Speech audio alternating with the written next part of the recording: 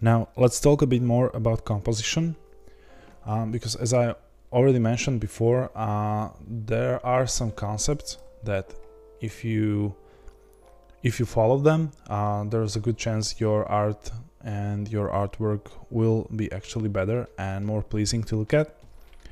So yeah and as I mentioned before um, the way we started uh, this scene so we just blocked blocked out um, some basic shapes and then dove deeper and deeper to create more and more details. Is basically a good approach because there's a paper um, from a guy uh, named Neil Blevins. And yeah this is the preview. I will link in the in the description or uh, under the video. And basically um, what he's writing about is the concept of some primary, secondary and tertiary shapes in the composition where you basically have uh, one main shape and then your eye can dive deeper into recognizing more details which are called secondary shapes and then there are tertiary shapes which are these uh, really small details. And basically it's uh, perfectly represented here and that's what we basically does with this scene that if you look at something there's like a first read on some object where it's defined as some large shape and primitive object. Then you go and create some details. Then you go create more and more and more. And basically you end up with all these little little little details that your eye can um, study when you look at the artwork and it really makes um, the image much better uh, to look at. So basically it comes down to defining the primary, secondary and tertiary shapes and there's a talk about distribution where if you do it like this it's not that interesting but see if you if you use some kind of uh, a little bit of a random scattering uh, it's much more pleasing to look at and there is a much more interest in that. So um, yeah this is this is a little bit out of the scope of this but I really wanted to mention mention it and I wanted to give you a link. So read this study this and um, there are a lot of articles from this guy that can be useful and are really general art stuff. Um, it uh, it doesn't talk about any software at all. So it's really useful to study things like this and to dive a little bit deeper into the composition so your art can improve over time.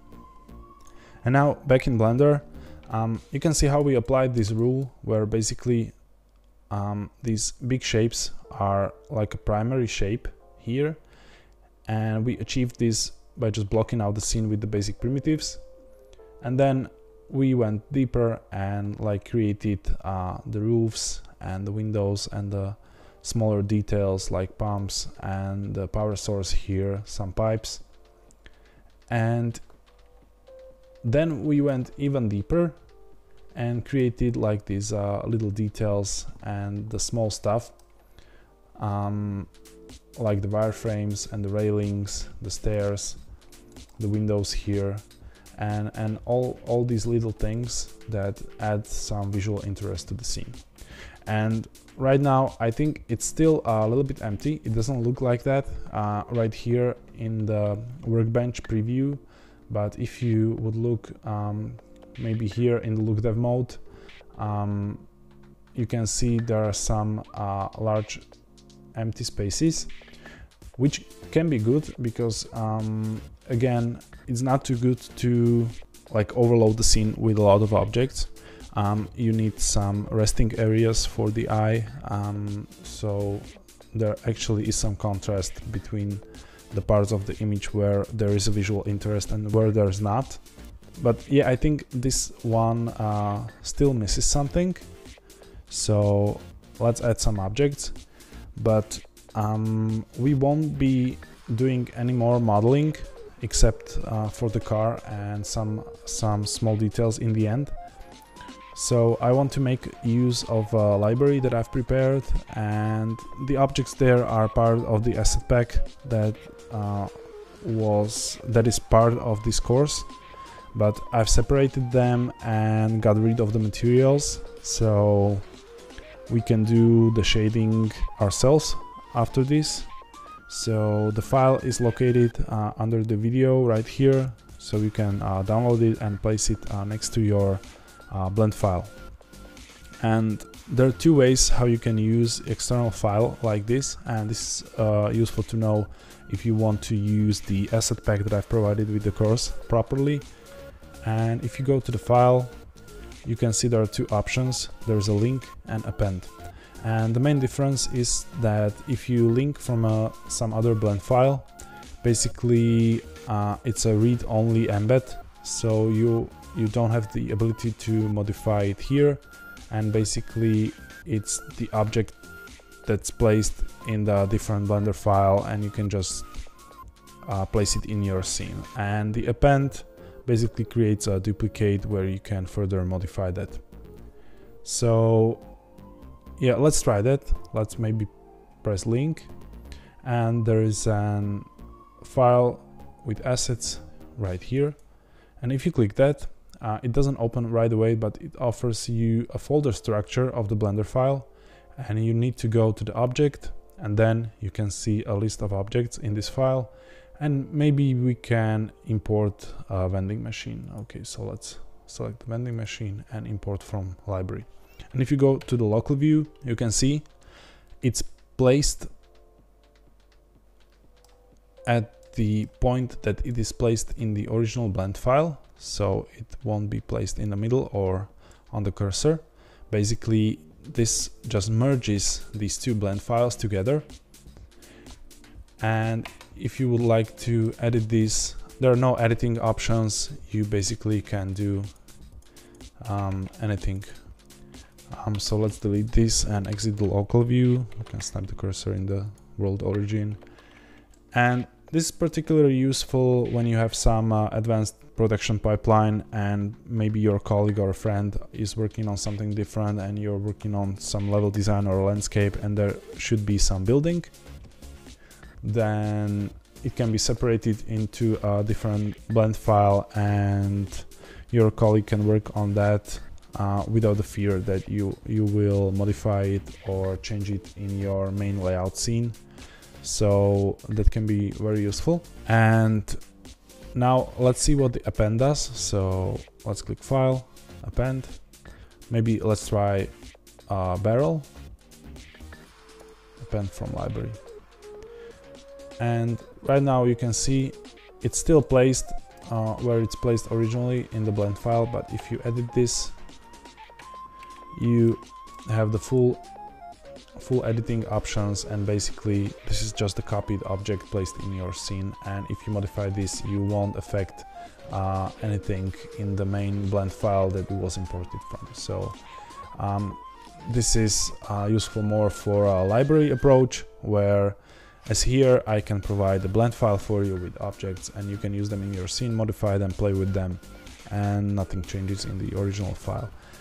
Um, yeah, so as we imported the barrel here, we can continue and place it somewhere in the scene. Uh, but the scale is a little bit wrong, so we'll need to adjust that. So first of all, we have snapping enabled, so we can just move it somewhere here on the platform it will place it correctly and now just scale it down we can maybe look from the side to um, really get the perspective right and I think the barrel should be tall something like this. And now if you rotate um, we can actually uh, place it somewhere here. And let's duplicate this with alt so it's a link duplicate and place it next to it. And maybe rotate on Z to create some variation. Okay and now I really like the idea of having those barrels here. Maybe make them a little bit smaller. Yeah it was it was too much I think. Yeah if you look at the pumps I think it'll need to be something like this. Okay and now let's append another object. So file append and select tires and scale them down and move them next to barrels like this. You can see how how easy this can be if you have a library of objects and you enable snapping um, how easy it can be to actually fill the scene um, with objects. It doesn't have to be tedious at all.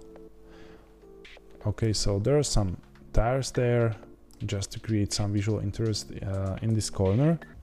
And now let's continue and there are some more objects there and I want to place um, all of them here. So let's append another one and I want to place trash can. So let's place that and move it up here. Again we'll need to scale this down and I'm doing this by the eye right now so don't worry about that. Um, just maybe follow uh, follow what I'm doing uh, in the terms of how tall the objects are actually. Yeah, and maybe move this uh, a little bit here to the corner. Yeah and if you look from this side where I want to place camera later and switch to the um, isometric you can really find the angle that you like the most for the object. Maybe with these tires too. Actually that was pretty good. And yeah maybe make it a little bit smaller. Right now I want to duplicate this trash can and move it under the stairs. So let's do that. Move it somewhere here. Um, maybe rotate this here a little bit. Create that variation. Okay. Don't forget to save your scene.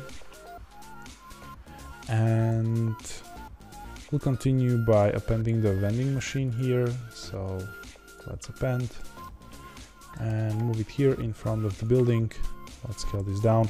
And I really want to make this uh, size bright. So let's scale it maybe like I don't know maybe like this. So it's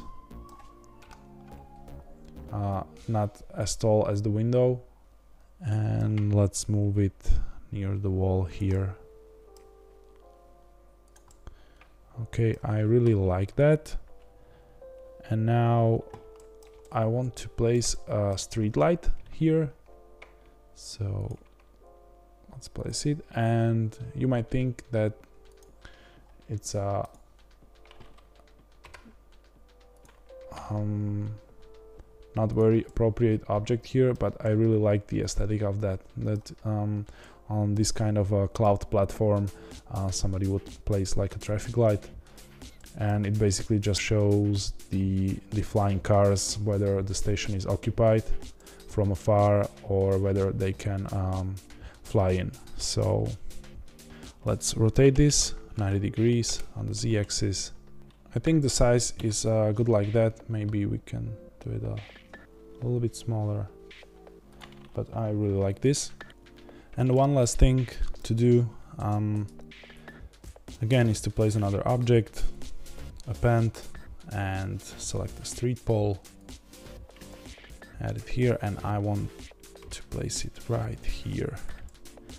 And again you might think what does a wooden street pole doing on a levitating cloud station? But but that's the part of this um, dieselpunk aesthetics where you can just take all things and bash them together and mix them with the modern technology. Okay so let's look from the side and rotate this on the z-axis 90 degrees. And make it tall something like this. And again I'm doing this by the eye. So yeah your side view should look maybe something like this in terms of a composition and some leading guides okay so um this is our scene and basically it's almost ready. There's just one other thing we need to add and that's some uh, cables here and there. Um, but I want to do it after the car is modeled because there will be some cables on the car as well. So let's postpone that and let's move on to the car modeling